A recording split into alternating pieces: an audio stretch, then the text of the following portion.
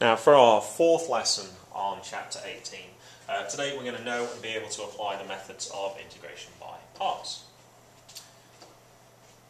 Now, I think you should think of this really as like a product rule for integration. We know if we have a product rule and we have to differentiate, we use the product rule.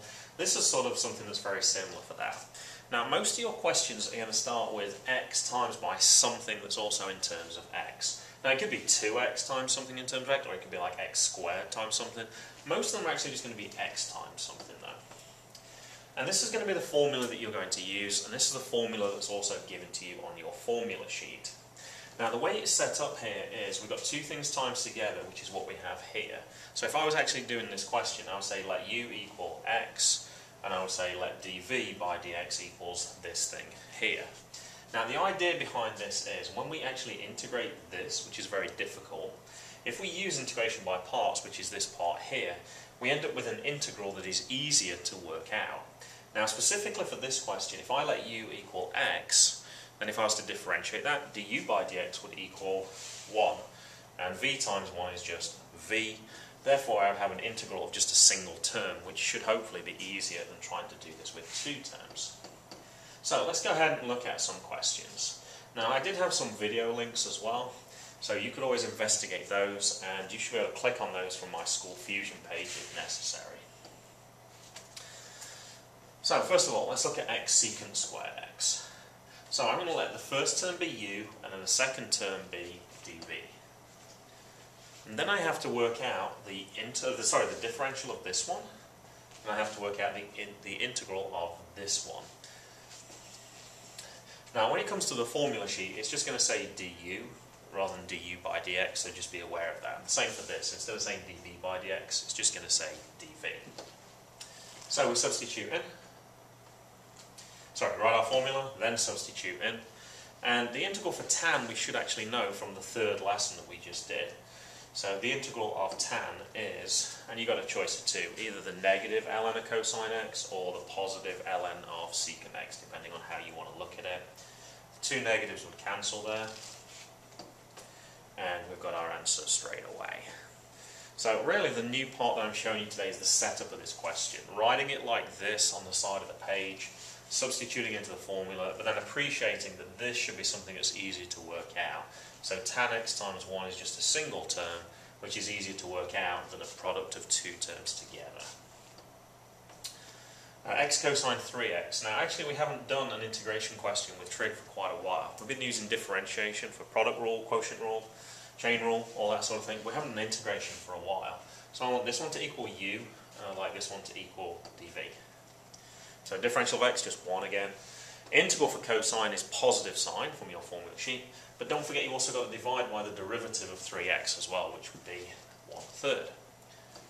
So if we use our integration by parts formula, the formula is u times v, so x times 1 third is 1 third x sine 3x, minus the integral of v du, so this times this, and as we times it by 1, that's not actually going to have any effect at all. So the integral for sine is negative cosine. We also have to divide by the derivative of 3x. So when we divide by another 3, we're going to get 1 ninth. And if we simplify here, the two negatives are going to combine to give us a plus. Now the third question, I would definitely put a big asterisk next to this one in your notes. This is one they love to ask a question on. And the reason they like to ask it is we let u equal x, we let dv equals the ln of x, and then we have to integrate the ln of x. The only problem is you've never actually learned how to integrate the ln of x yet.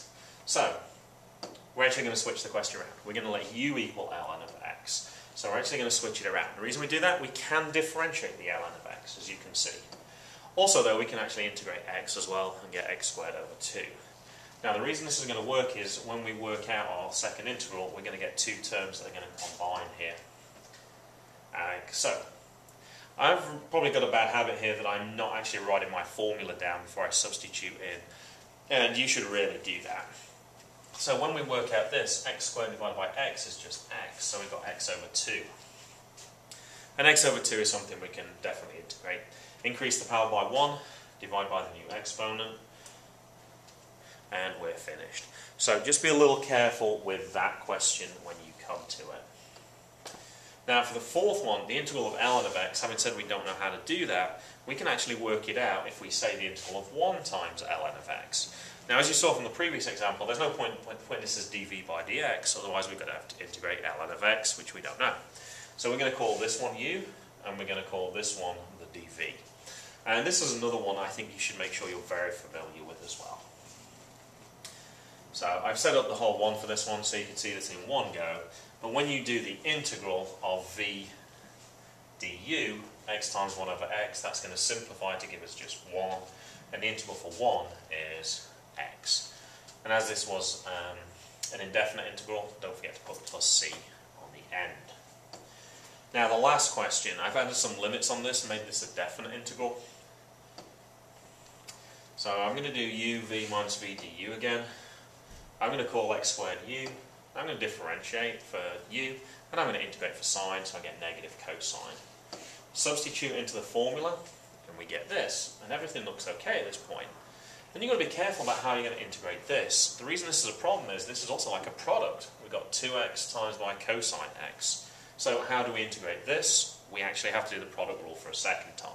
Now before I do that I'm going to simplify here. I've got two negatives, make a plus, and I can bring the 2 to the front of the integral as well. So now I have the integral of x cosine x, which is very similar to our second example today. So u equals x, dv equals cosine x. Work out the differential of the first one and the integral of the second one, and then go ahead and substitute those into the formula. Now I'm being very careful how I'm writing my answer here. I've got to do 2 times all of this integral. So I'm doing 2 times, and I've got my brackets here. So I've got u v minus the integral of v du. And as du is 1, sine x times 1 is just going to be sine x. But now I have an integral that I can work out. So I did 2 times x sine x. I did 2 times the integral of sine x, which was negative cosine x, which gives me a positive. And then now I can go ahead and plug in my limits. If you just want to check, you should end up with that answer there.